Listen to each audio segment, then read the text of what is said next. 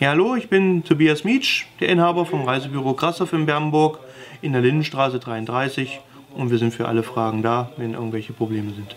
Im Moment ist es so, dass Thomas Cook Deutschland alle Reisen bis 31. Oktober diesen Jahres abgesagt hat. Demzufolge können alle Reisenden ihre Reisen da nicht antreten und die Zahlungsaufforderung muss dann an die Zürich-Versicherung, die der Insolvenzversicherer ist, gestellt werden.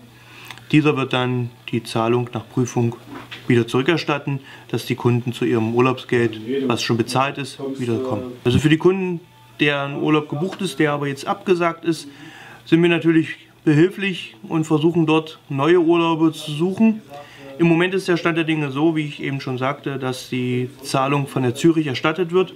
Das wird allerdings eine Weile dauern. Demzufolge müsste jetzt erst einmal ein neuer Reisepreis bezahlt werden. Aber auch hier können wir in Absprache schauen, was wir da gemeinsam finden, damit jetzt nicht die Urlaubskasse zu stark strapaziert wird. Da greift im Moment die Insolvenzversicherung, die Zürich, die hat für alle Versicherer, für alle Kunden, die einen Insolvenzschein haben, eine Garantie für die Hotelkosten übernommen. Da kann man das gleich dann runterladen und damit sind die Hotelkosten für die Hotels und auch Flugkosten für die Kunden werden bezahlt.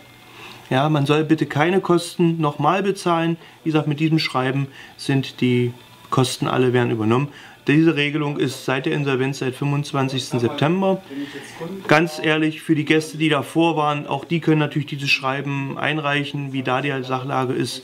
Das wird im Moment noch geprüft. Das Gute an dieser Situation ist, dass es einen Veranstalter getroffen hat, keine Fluggesellschaft, keine Hotels. Demzufolge gibt es diese Produkte ja noch. Das heißt, die Reisen werden jetzt abgesagt und die Produkte kommen langsam wieder auf den Markt. Die ähm, Namensfreigabe, so nennt man das, dass keine Doppelbuchung bei den Fluggesellschaften herrscht, ist im Moment bis morgen, wird jetzt sukzessive erweitert. Also demzufolge können alle Kunden, die jetzt bis 31. Oktober keinen Urlaub haben, neu buchen. Die Reisen werden wieder auf den Markt gestellt und wir müssen halt schauen, zu welchen Konditionen dann, aber auf jeden Fall kann man wieder neu buchen bei anderen Anbietern. Ja, also ein sehr gutes Preis-Leistungs-Verhältnis wird immer noch in der Türkei bestehen, wo auch das Wetter noch am idealsten ist. Ähm, natürlich kann man aber auch Spanien, die Kanarischen Inseln, die bei dem Wetter jetzt ähm, sehr empfehlenswert sind, auf alle Fälle eine gute Alternative.